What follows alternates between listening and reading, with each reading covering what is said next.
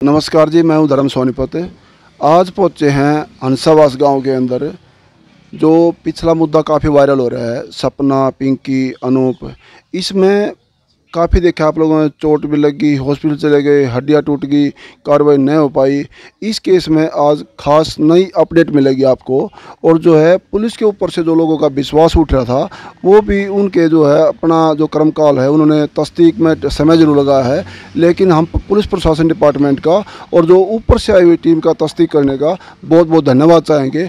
कुछ सामने बहुत ही बेहतरीन जो है पिक्चर सामने आई है पुलिस की कार्रवाई के मुताबिक। ये हम, हमारे साथ है अनूप जी और पिंकी बैठी हैं। इनके मुँह से सुनेंगे क्या क्या सामने आया मेडिकल रिपोर्ट में? एफआईआर हुई थी किस किस के नाम आए हैं? क्या हुआ? हाँ जी सर जी नमस्कार। नमस्कार जी।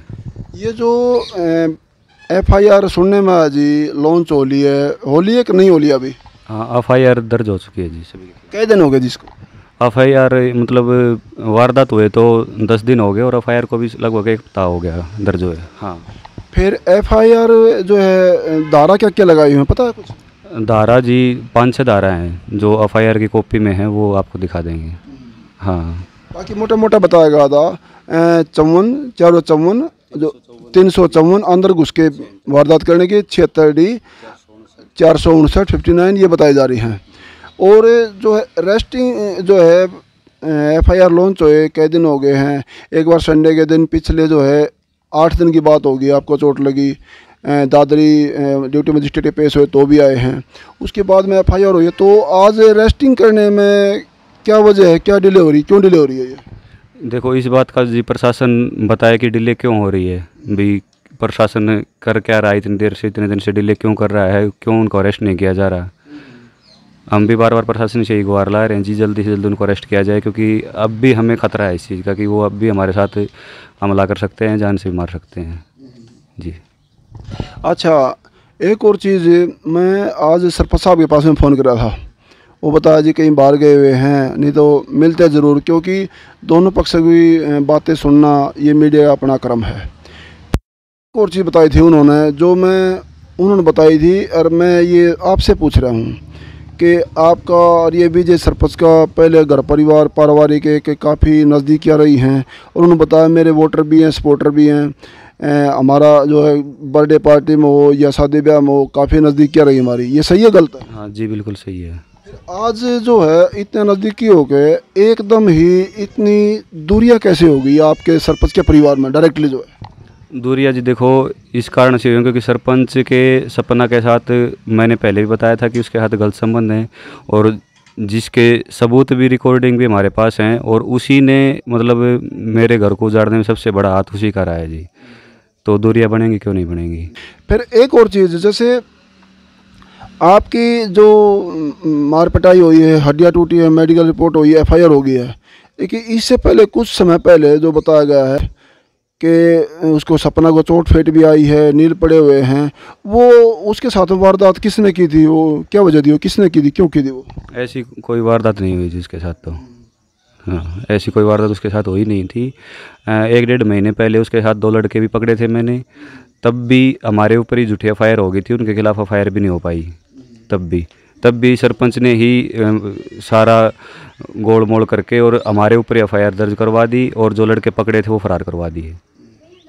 तब भी सरपंच ने धमकी दी थी कि मैंने कहा भी था कि मेरे घर में ऐसे क्यों घुस रहे हैं लड़के?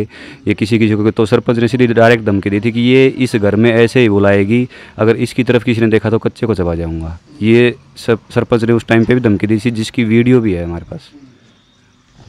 फिर एक और चीज़, जैसे बताना कि सर जो सपना से आपने शादी करी परिवार से ऊपर से होकर कह लें या उनकी बिना मर्ज़ी के शादी करी ऐसा भी है ना कुछ? जी वो भी मैंने पहले बताया था कि वो एक बहुत बड़ी मजबूरी रही थी शादी के पीछे की भी।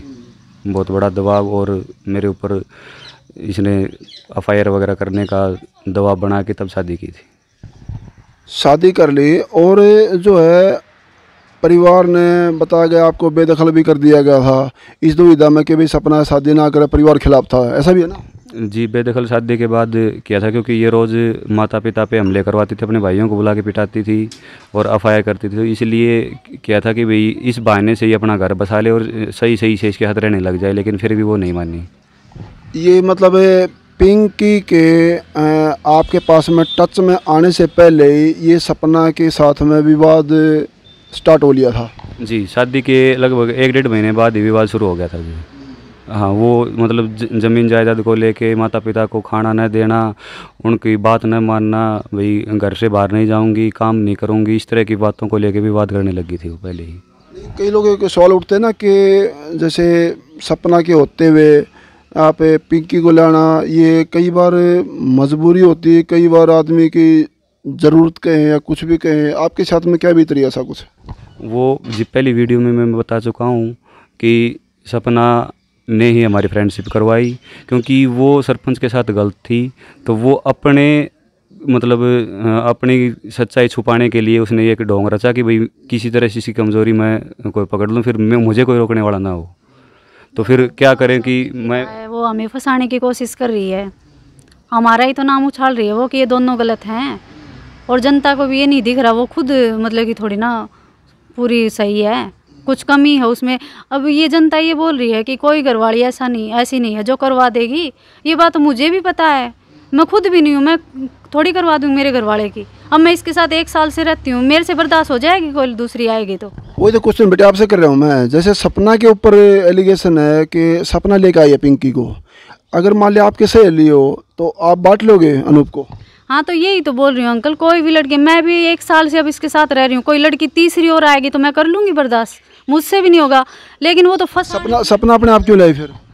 वो तो उसको तो पैसे से जाए जाते मतलब था तभी तो वो वो तो मॉडलिंग बनना चाहती मॉडलिंग करना चाहती थी वो तो मुंबई जाना चाहती थी ना शुरू से कि ज़मीन नाम करवा के मैं तो मुंबई चली जाऊँ। तभी तो वो शादी के एक डेढ़ महीने बाद ही लड़ाई शुरू कर दी उसने। मतलब सपना ने एक डेढ़ महीने बाद ये ज़मीन ज़्यादा मांगने लगी जी। अ, आप लोगों की उम्र कितनी होगी? मेरी तीस साल है जी। तीस साल की उम्र होगी। मम्मी की? मम्मी की लगभग पचास के आसपास। आज तक पचास साल की आपकी मम्मी होगी उनके नाम ज़मीन होगी है ना नहीं हुई है जी। सपना कहाँ से मिल जाएगी एकदम? तो यही तो बात है जी वो तो चाह रही है कि सब कुछ मेरे नाम मेरे किया जाए। अगर ये खुली खुली चेतावनी नहीं है प्रैक्टिकल है पुख्ता सबूत है। जिस औरत को संतुष्टि होती है, उसको ये पता है, आदमी का जो कमाता है, पूरे उम्र का कार्यकाल में जो जितने भी हड्डी घिसाई होती कमाता है, वो सब कुछ बच्चों के लिए करता है। और आज जो इनकी मम्मी की पचास साल की उम्र हो गई है प्रॉपर्टी ज़मीन जायदाद उन्होंने ना तो मांगी है और ना ही उनको आज तक मिली है। सब अपने बच्चों के लिए देते हैं, बच्चों के लिए ही कर रहे हैं। और सपना को ऐसी ज़रूरत क्या पड़ेगी जो आते ही एक महीने के अंदर ही ये बताया जाता है कि वो ज़मीन ज़्यादा मांगने लगी। ये एलिगेशन मीडिया ने लगा रही ये खुद परिजनों का कहना है कि सपना जो है एक महीने बाद ही ज़मीन ज़्यादा मांगने लगी। ऐसे ना जी? जी। अगली बात एक और है कि सपना जो है उन्हें और मीडिया वालों को बताया है मेरे यहाँ नील पड़ रहे थे आप लोग बता रहे हैं ये। और दूसरी बात वो आपको चोट लगी है। मैंने सपना से डायरेक्टली ये पूछा है कि आपके यहाँ जो है, उस दौरान पहले दिन बता रहे हैं कि चार से, बारह बजे, चार बजे तक घर में नहीं घुसने दी और अगले दिन जो है, बारह घंटे नहीं हुए हैं, बारह से चौदह घंटे के अंदर ही और जो है अनूप और पिंक को चोट लग के, दो दो हड्डियाँ टूट के हॉस्पिटल पहुँच गए और सपना शान से अपने घर में रह रही है। ऐसा क्या जादू चलाया उन्होंने? ये बात तो अंकल, ये देखो ना आप मतलब कि वो खुद बोल रही है अपने मुँह से कि मैं घर में नहीं घुसने दी। मैं पूरी रात गेट के आगे बैठी रही। ये वीडियो देखी हमने हाँ वो वीडियो डाल रखी हमने भी देखी है कि मैं पूरी रात गेट के आगे बैठी रही फिर उन्होंने सुबह गेट खोला हम तीनों के हाथा वही मतलब कि वो अकेली थी हम दो थे। हाथापाई में हमको तो इतनी चोट लग गई उसको कुछ नहीं हुआ वो अकेली थी। वो मैंने डायरेक्ट पूछा है सपना से कि आपके भाई भाई परिवार में बोले कोई सबूत दे दो जी। सबूत मीडिया पास नहीं होते। मीडिया तो आप लोग कहोगे आपकी वायरल करें कि सुन के जो सपना बताएगी सपना की। सच्चाई है तो आप लोग जानो या सपना जानो।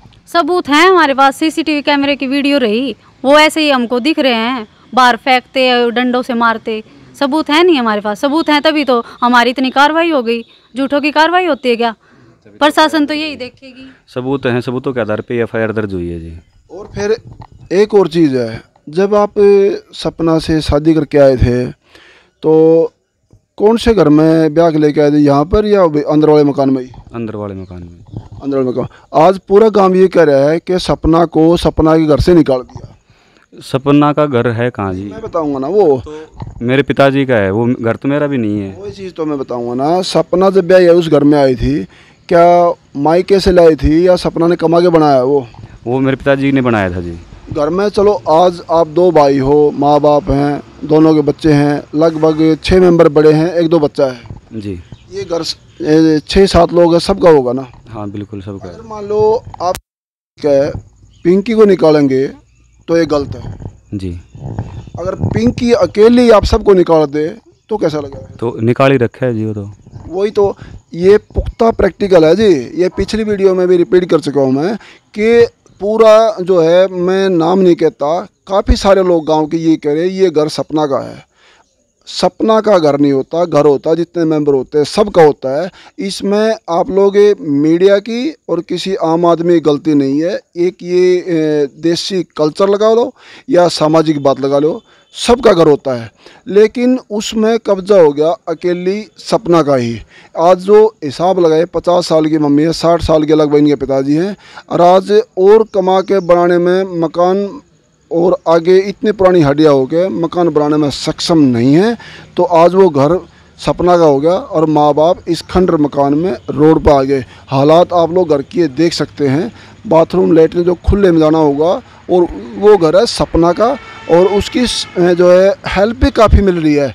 लेकिन मैंने सरपंच साहब से भी चर्चा में बात करी थी कि अगर इस घर में ऊपर नीचे भी रहेंगे बता दर थाने में कोई बात हुई थी, ऊपर नीचे भी रहेंगे तो इनका जान माल का नुकसान होना भी तय है।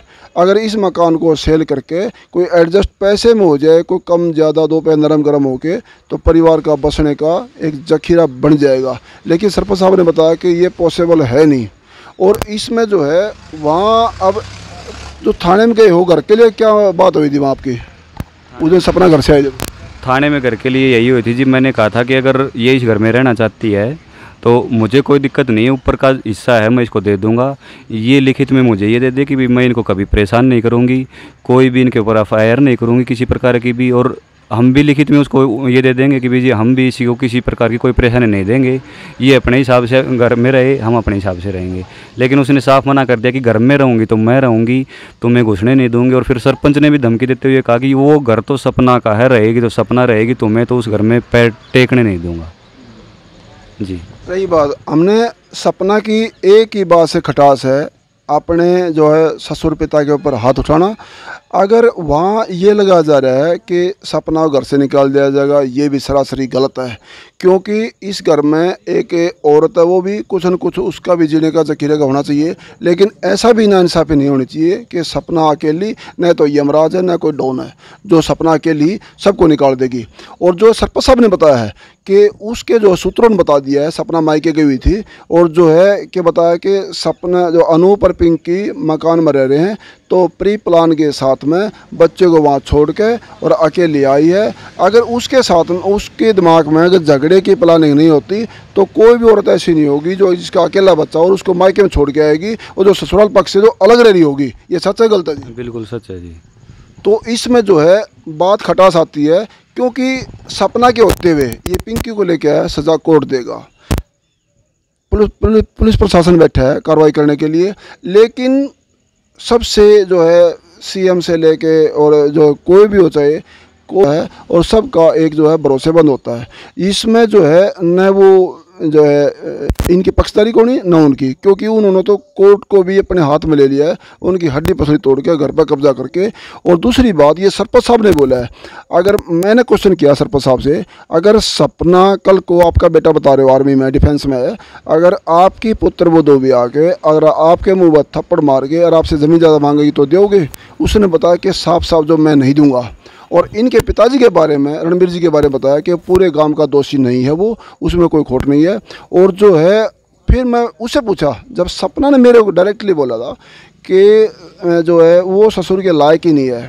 पूरा गाँव छत्तीस बरादरी, इनके पिताजी में कोई दोष ना निकालते हुए सपना ने ये बोला कि वो ससुर के और इंसान के लायक ही नहीं है। या तो पूरा गाँव झूठा हो गया, या सपना झूठी है। सच कहाँ है, झूठ कहाँ है? क्योंकि जो क्वेश्चन सामने आएगा वो पूछा जाएगा बोला जाएगा इसमें अनूप नाराज़ हो या पिंकी हो या सपना हो या सरपंच हो। मीडिया काम है सच्चाई को दिखाना। फ़िलहाल मीडिया के सामने कि अनूप को तो बेदखल कर रखा है वो अनूप का घर कहाँ से हुआ? जब अनूप बेदखल है तो अनूप के साथ बेदखल सपना भी है तो फिर उस घर पे अगर अनूप का हक नहीं तो सपना का कहाँ से होगा? ये आप ये भी जायज़ बात है। बिल्कुल प्लस पॉइंट है जी है जब अनूप के पिताजी ने बेदखल कर दिया तो अनूप के साथ ही सपना है। जैसे ठोकर ये खाएगा, वैसे वो भी खा लेगी। इनको मिलेगा तो उनको मिल जाएगा। फ़िलहाल हमारे पास है, सपना अनूप जो है, अपडेट इतनी है कि इनके, जो पर्चे जो है, पुलिस ने इनकी अपील सुन ली है। फ़िलहाल एफआईआर लॉन्च हो गया रेस्टिंग किसी की भी नहीं हो रही है। आगे कोई भी अपडेट होगी तो जो है, इस केस में दे दी जाएगी। जब तक बने लोक शक्ति मीडिया से, धन्यवाद।